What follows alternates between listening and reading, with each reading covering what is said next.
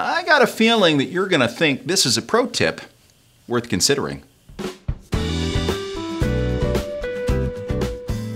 I'm Rick Tyler from Sutherland Weston Marketing Communications.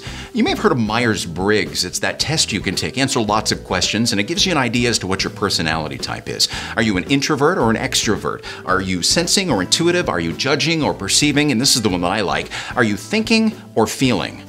Some people are thinkers. They lead with their head and they carefully, sometimes quietly, think it through, guiding themselves to a decision. Others are feelers. They lead with their heart. They might often talk through their feelings, and that guides them to a decision.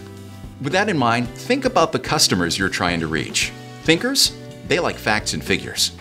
Feelers, they like emotion and imagery. And if you listen to your customers, they just might give away whether they're a thinker or a feeler. You might hear some say, I think the first choice is better. Or, I feel the second choice is more of what I need. Thinkers or feelers, regardless, we can help reach both for you, shaping your brand and sharing your story, helping you to be persuasive and prepared. Let's talk more. Send me an email, rick at sutherlandweston.com.